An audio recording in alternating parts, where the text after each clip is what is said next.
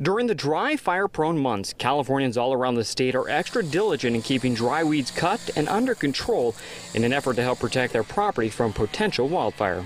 But experts warn that if these efforts are done irresponsibly, they can pose a hidden danger, causing fire instead of keeping it at bay. If you're uh, uh, mowing a grass area where there's a lot of rocks or debris, a rock can strike any of the uh, mower uh, blades and then create a spark and start a fire. If you're using a weed eater, you, you strike something again too, you can start a spark and then you know, grass fire will start immediately. In most parts of the state, the rainfall was above average this year.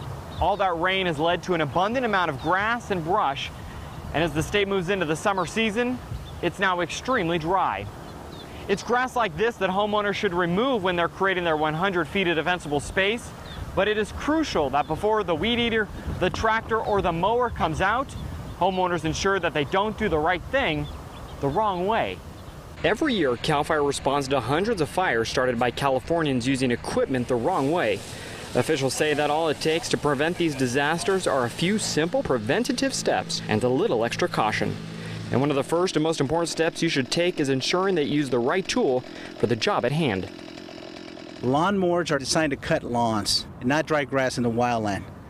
So if you're going to cut dry grass in the wildland, you want to use the right equipment, which could be a weed eater with a plastic line rather than a metal blade. Residents should also ensure any equipment use is done before 10 a.m. and never during windy, dry days. During the morning hours, humidity is higher, the temperature is lower, and the possibility of causing a fire is minimized. But even during the morning hours, everyone should always stay alert and aware of their surroundings. You want to make sure that you constantly monitor your area. You're constantly looking back, making sure that you didn't create a spark and start a fire. And in case a fire is accidentally sparked, officials say residents should carry basic safety tools to extinguish it before it can spread. You want to have, make sure that you have a fire extinguisher or some sort of water supply, or again, having just the basic shovel can help.